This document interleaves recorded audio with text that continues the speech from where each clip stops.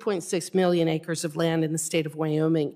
In total, under the preferred alternative, Wyoming is the largest trona producer in the nation, the largest coal producer in the nation, and one of the largest. And for the, for the record, and uh, appreciate you coming over today, and I yield back.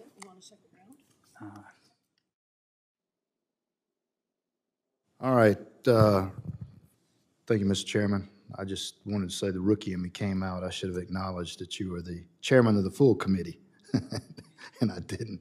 Um, We're going to entertain a second round of questioning if, if you would like. Uh, So the chair is going to recognize uh, the gentlewoman from Wyoming, Ms. Hageman, again for five minutes. Well, thank you for that opportunity. I have so many questions for the BLM. 48% of the surface estate in the state of Wyoming is owned by the federal government, and about 65% is owned, of our mineral estate is owned by the federal government. So when those resources are mismanaged, it has an enormous impact on my state and the citizens of my state. And when you have programs such as the 30 by 30, what you now call America the Beautiful, which I would vehemently disagree with because I don't believe that that's ultimately what will happen um, with those efforts, I think you'll see what we have been seeing over the last several years, which is the continuing of uh, catastrophic forest fires for failure to properly manage our National Forest Service lands. Uh, removing grazing our, from our BLM lands is going to have very serious uh, impacts not only on the economy throughout the state of Wyoming, but it will impact the quality of those lands and the grasses as well. Um, so I'm going to talk to you specifically about some of the things that the BLM has been doing in the state of Wyoming. In mid-August of this last year, the BLM Rock Springs Field Office introduced their draft resource management plan for revision for the Rock Springs planning area, which makes up 3.6 million acres of land in the state of Wyoming. In total, under the preferred alternative, about 2.5 million acres would be off the table for consideration for new rights of way, and about 1.6 million acres would have been uh, denied any type of access for grazing, oil and gas development, trona, those sorts of things.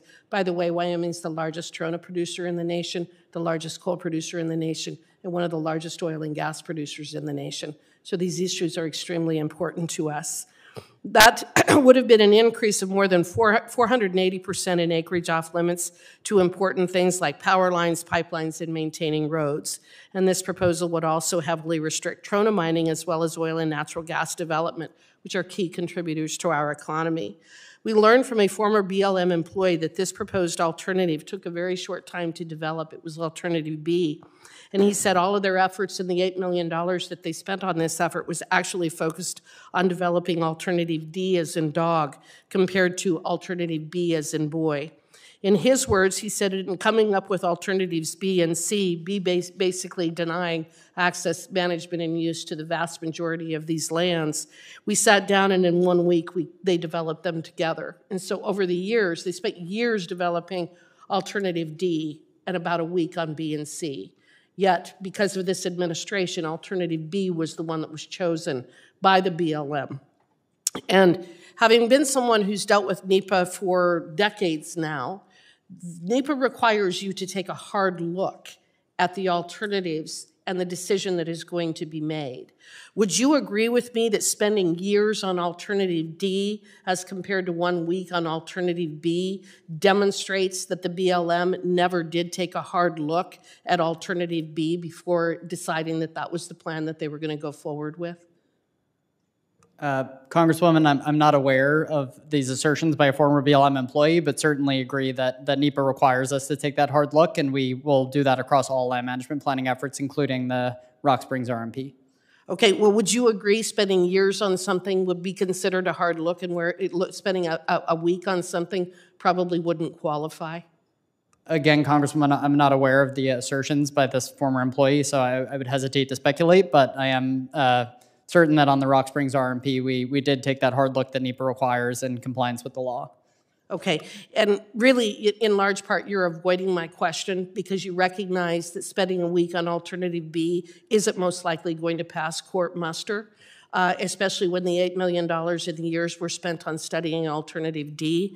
So I just want to make sure that the BLM truly understands the implications of what happens when decisions are coming out of Washington, D.C., rather than the local offices, and rather than in conjunction with the state and the stakeholders that actually know how to manage the resources in Wyoming. It's extremely damaging when you have an environmental agenda coming out of D.C. that don't really understand, the folks who don't understand how to manage those resources, what it can do to not only a state like Wyoming, but actually the, the, the country as a whole.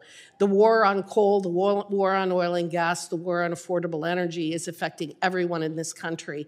It's why I've introduced the uh, Energy Poverty uh, Prevention and Accountability Act, because I want to make sure that agencies like the BLM are actually having to quantify the costs associated with the decisions that they make. I think the American people deserve that, and I will again say I think that the BLM needs to come to the table with the state of Wyoming and come up with a legitimate resource management plan for not only the Rock Springs district, but the remainder of Wyoming that BLM controls. So with that, I yield back.